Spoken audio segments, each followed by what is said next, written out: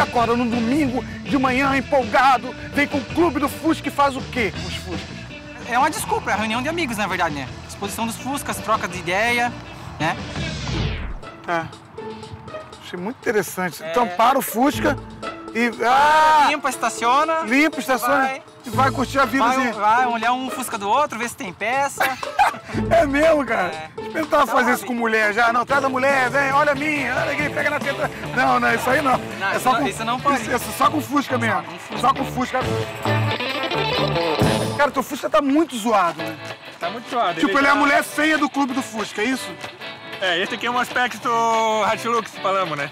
Tem vários tipos de furto. Não, não, não, não, não. Não, inventa um nome pra uma coisa que é velha. Lá a gente chama de velho. Escroto, acabado, detonado. Olha lá, lata velha. Lá a gente chama disso, mas você chama de quê aqui? Hilux. Um rolezinho por aqui, você deixa eu dar? Pode, já dá um rolê Você não tem ciúme? Tipo, ah, tem ciúme do Fusca. ciúme, não. Não?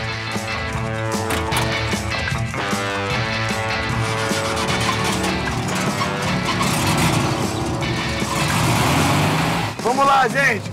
Vou dar um rolezinho.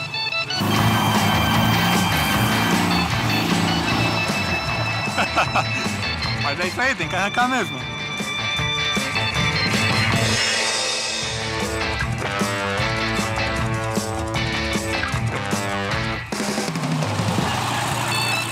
Caroline, você é dona desse Fusca? Como é que veio essa paixão pelo Fusca? Desde criança já, sempre gostava de carrinho, Fusquinha. Aí eu sempre queria que o meu primeiro carro fosse um Fusca. Ah, é? Então deixa eu te falar uma parada que talvez você não saiba. Tem uns carros hoje que não tem mais embreagem, você não precisa apertar a embreagem, entendeu? Pô, tem ar-condicionado, o vidro desce com um botãozinho que aperta, zzz, desce o vidro. Mó barato, cara, esses carros. Não, não tenho mesmo pra fazer de dirigir um clássico. O que, que tem pra fazer nessa cidade que vira piada? Me ajuda. Eu tenho um show hoje à noite aqui com Rafinha Bastos e o Rodrigo Fernandes. E eu preciso de piadas que sejam da cidade. Falar com R é puxado de alemão. Ar puxado de alemão. R, R? R, Ah, o R. R.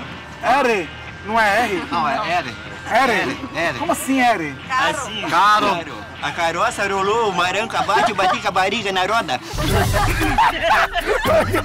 Isso é muito bom, cara. Fala de novo a frase. A carroça rolou com o barranco pra baixo, bati com a barriga na roda. Mas não fala, não fala barriga? Não, o alemão não, ele puxa o R. E aí vocês pegaram essa mania também de falar A gente assim? é meio alemão, sabe? ele é alemão. Ah, vocês são meio alemão. Ah, você conhece o Rafinha Bastos? Ele é judeu. Vocês podiam fazer... Sacanagem. É... Eu gostaria que vocês recebessem agora o meu incrível amigo Marcelo Marrom, senhoras e senhores!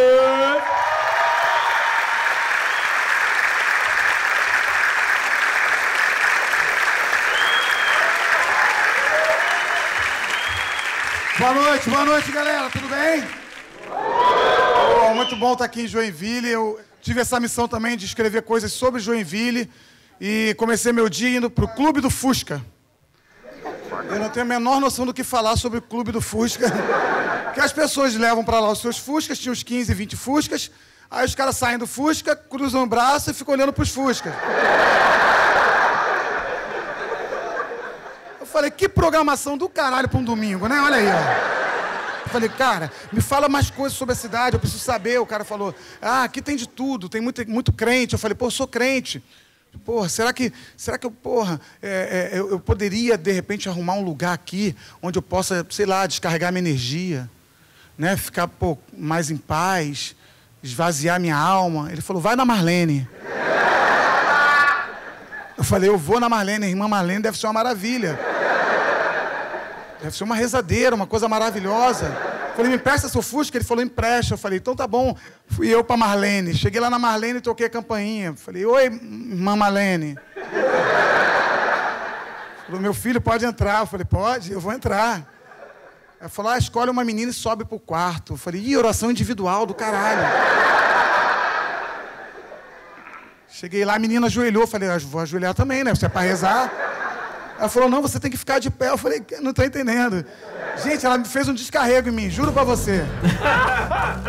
juro pra você. Ela Mandou fez um bem, descarrego em mandou bem. É, Essa, usou um, tro- um trocadilho bonzão, fez sentido pra E, caramba. é- e assim, eu acho que só o marrom faz esse bobo de verdade, assim, né? Sim, sim. Eu fui também na é, feira de antiguidade, né?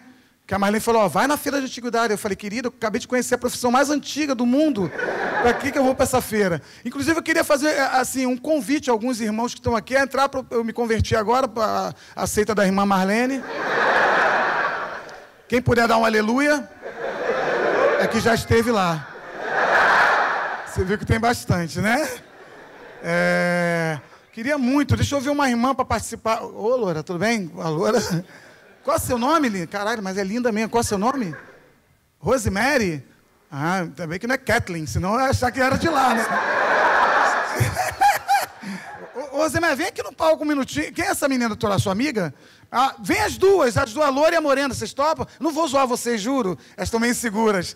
Quem quer que elas venham, gente? Diz um amém. Ah, por favor, levanta uma salva de palmas para Rosemary e a outra no. Fernanda? Fernanda, Rosemary, subam por ali, ó.